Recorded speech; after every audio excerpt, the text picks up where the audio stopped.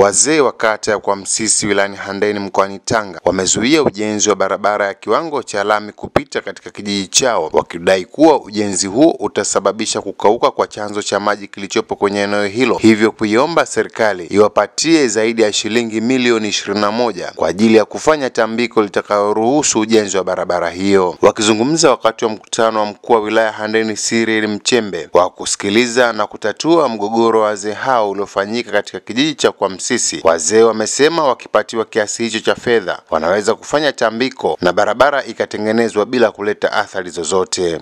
Pale kuna matambiko mara hizi, tunataka tutambike kwanza mara hivi sasa hivi kabla hamjagusa hata mti.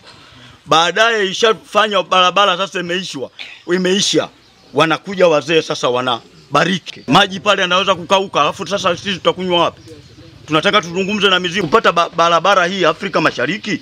Sisi kwetu tunaona ni neema, lakini vile vile neema ina, ina, ina hasara zake. Mkuu wa wilaya Handeni Cyril Mchembe amesema ameshtushwa na kiasi hicho kikubwa cha fedha, yeye pamoja na watumishi wa wakala wa barabara nchini TANROADS kwa kuwa ni kikubwa, hivyo kuwaomba wapunguze ili mradi huo uweze kufanyika na kuleta manufaa kwao. Sijawahi kuona milioni ishirini na moja laki tisa kwa ajili tu ya tambiko.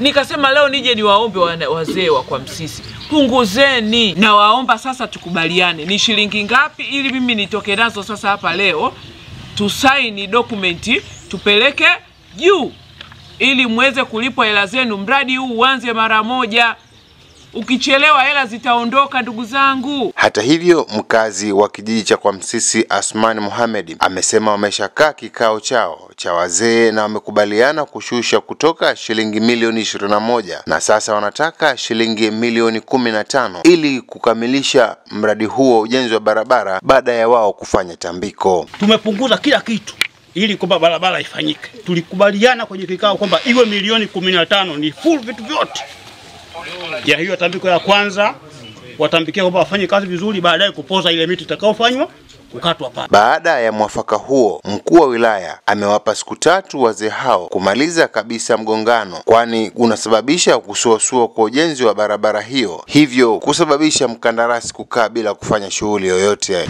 Kutoka hapa Kwa Msisi iliyopo halmashauri ya wilaya Handeni mkoani Tanga, Rajabu Athmani, Mwananchi Digital.